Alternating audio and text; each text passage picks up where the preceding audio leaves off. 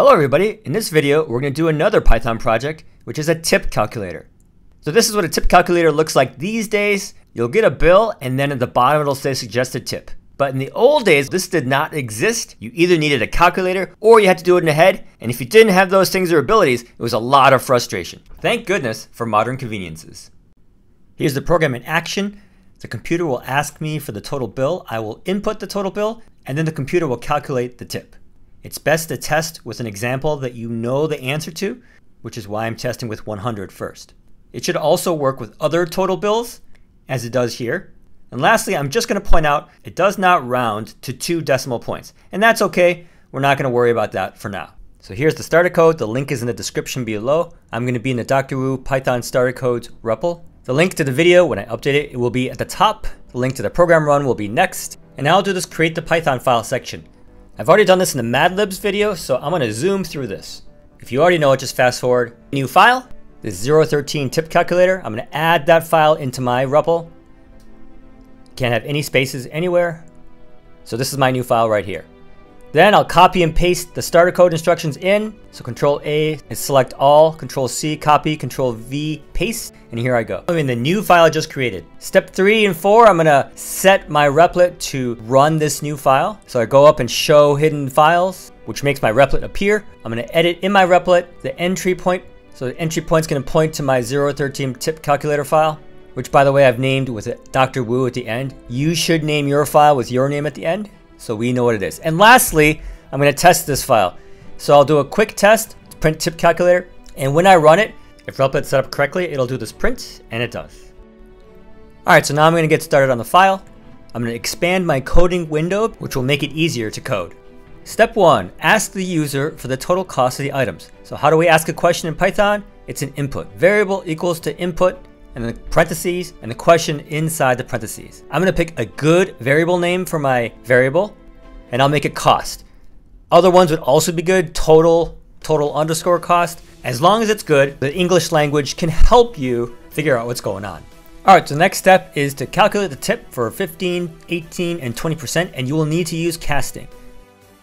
So we wanna remember again that if it comes from input, it's a string, and there's no math to be done to strings. So to do math, I need to cast it.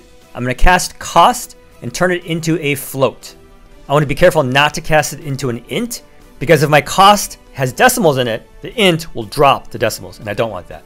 Then I'll go on to calculate the tip. I'll just do the 15% one. I'll give it a good name again. I want it to be obvious, so I'll call it 15. 15 equals cost times 0.15. I'm just going to do this one for now. And lastly, I'm going to print this out so the program has given me a format. So I'm gonna, how do you print something? Use a print parentheses. And how do you print two things stuck together? Well, the first will be a string, and I'll write 15% tip colon inside quotation marks. Quotation marks makes it a string. It doesn't matter that I have these special characters, the percent, the colon. If it's inside the quotation marks, it's a string. Then I want to print out 15, but now I have a problem because 15 is no longer a string. 15 is a float. And when I run it, it crashes with some error about not being able to concatenate strings and floats. And you cannot join strings and floats. So what I have to do is cast this back into a string just for this one line. So I'll do that right now, str parentheses 15. I'll run it, and it looks good. I'm going to try to autograde it now just to see how I'm doing, even though I'm not quite done.